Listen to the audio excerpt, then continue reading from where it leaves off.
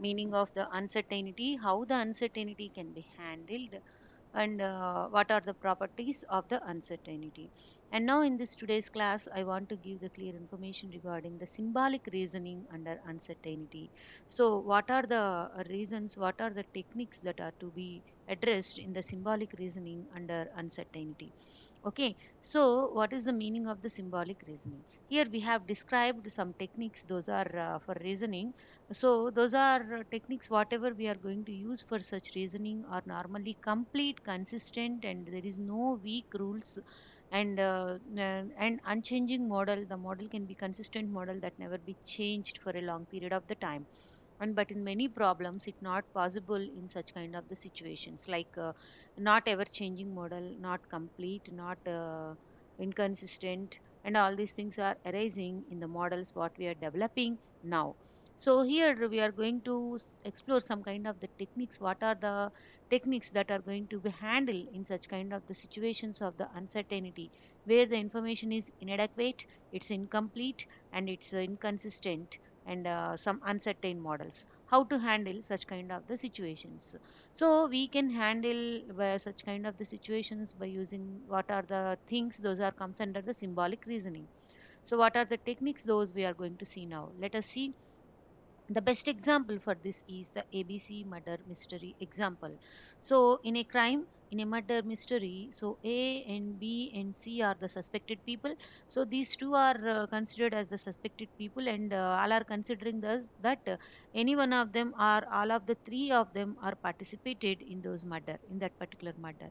So what they are showing here, what's happening, the thing is here is A has an entry in uh, register of the respected hotel in Albany. That means A is showing his own evidence that he was not there at that particular point of time.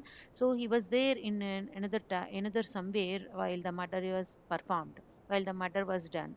So B is also having his own evidence. He is showing that his brother-in-law testified that uh, B was visiting him in the Brooklyn at that time.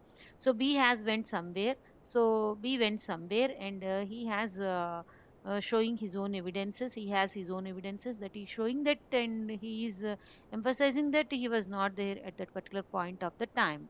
So coming to the C, C is also having his own evidence that uh, he has uh, watching a sky meeting in Catskills. That means he is undergone some meeting in the Catskills. He is also showing his own his own evidences. Okay, so we have only his words for that. We have to believe based on the, all the three people words that A is not there at that particular point of time. So A didn't participated in that crime and B did not commit in that crime and A and A or B or C all the three people didn't commit that particular crime. Uh, but presently the C is showing his strong documents uh, along with his evidence that uh, so he can feel he will be good luck that uh, he didn't commit any kind of the crime. Because he is showing the very strong uh, evidence that is he didn't um, mm, participated in, in that particular crime and he didn't attend at a particular point of time. He was not there in that particular murder okay? So next what is the non-monotonic reasoning so why this non-monotonic reasoning can be used? What is the purpose of this non-monotonic reasoning? Non-monotonic reasoning means where the axioms and rules are extended to make possible to reason with incomplete information.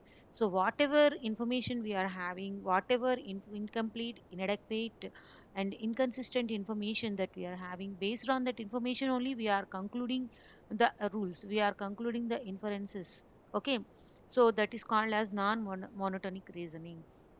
So these systems normally preserve, however, the property that uh, they can be believed true, they can be believed false, or they can be believed either. So whenever we are uh, inferring such kind of the rules based on some incomplete and inadequate information, so we can say such kind of the rules are not completely false under true. Those rules are not completely false under false, or either they can be true or they can be false in the non-monotonic reasoning. So another kind of the reasoning under uncertainty that can be handled is statistical reasoning. So we can calculate some probabilistic measures. Based on some probabilistic measures we can estimate so the value that can be true which is nearer to 1 so the value which is not nearer to 1 we can add simply leave them. So that is the statistical uh, some numerical measure of the certainty we are taking in the statistical reasoning. So that numerical measure can be associated for each and every statement. So for this for example we can say that Bayesian belief networks that we are going to discuss in the coming classes is the very good example for this statistical reasoning.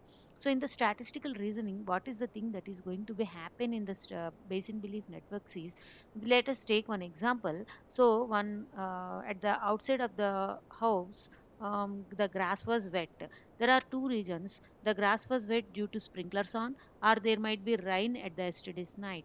So we can calculate for the probability of these two statements. So whatever value we got nearer to 1 that can be concluded as the true value based on its numerical value. So that is the statistical reasoning. So this Bayesian belief networks part comes under the statistical reasoning. Okay. So the next one we need to maintain some parallel belief spaces which of the uh, which would correspond to the beliefs of one agent. Okay. So whatever conventional reasoning systems before going to this statistical reasoning we are having some conventional reasoning systems. Those are called as first order logic. These first order logic are completely complete consistent and uh, advocate uh, adequate uh, sorry adequate uh, information they maintains. So this is uh, this leads to some kind of monotonicity. What is the meaning of monotonicity means the particular statement can hold only one value that is either true or false. Okay but not the either both values. Okay so whenever it leads to the both values that comes under the uncertainty. We can't predict that which one is true right? So that is nothing but uncertainty.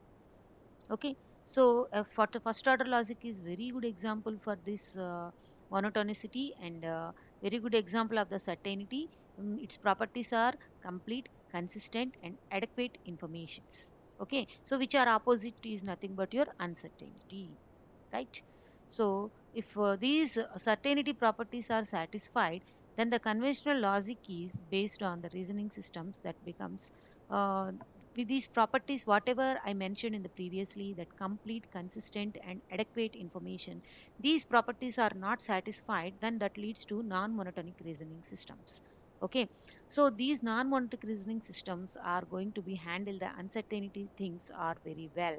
So what are the issues to be addressed by the symbolic reasoning or non-monotonic reasoning that is the first one. How can the knowledge base extended to allow inference to be made based on the basis of the lack of knowledge?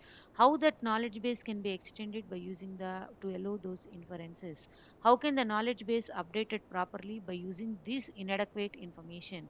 How can this particular knowledge uh, is used to help to resolve the conflicts in the several inconsistent and non-monotonic references. So these issues can be addressed. How the knowledge base can be extended and uploaded, how this particular knowledge can be helps to solve the problems of inadequate, incomplete and uh, improper information. Okay. So next, so non-monotonic reasoning. So whenever we use this non-monotonic reasoning to perform, we commonly call as the default reasoning. One of the best example of this non-monotonic reasoning is default reasoning and we want to draw the conclusions based on what is most likely to be true that is the default reasoning. So here again we are talking about non-monotonic reasoning again in the form of default logic and two common kinds of this non-monotonic reasoning is abduction and inheritance. So we use this non-monotonic reasoning normally to perform this default reasoning. For this we are having two approaches non-monotonic logic and default logic and two common approaches for this non-monotonic reasoning are abduction and as well as the inheritance. So like that in the coming video we discuss about this non-monotonic logic uh, how it can be handled. So this is nothing but the symbolic reasoning under uncertainty. The symbolic reasoning is actually the non-monotonic reasoning which is going to be handle the issues of issues of the information or the rules whatever it is that's containing the incomplete inconsistent and inadequate information okay so this is nothing but the symbolic reasoning under uncertainty in my coming video i describe regarding this non-monotonic reasoning. See if at all anybody didn't subscribe my channel please please subscribe my channel intelligible tutorials. Thank you thank you one and all